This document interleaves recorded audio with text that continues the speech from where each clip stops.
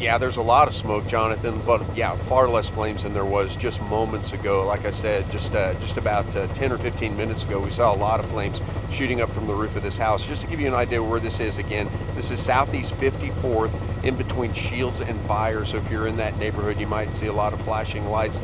Um, it's going to be a while before they get this cleaned up, so I would anticipate this is going to be here for probably the next uh, hour or two.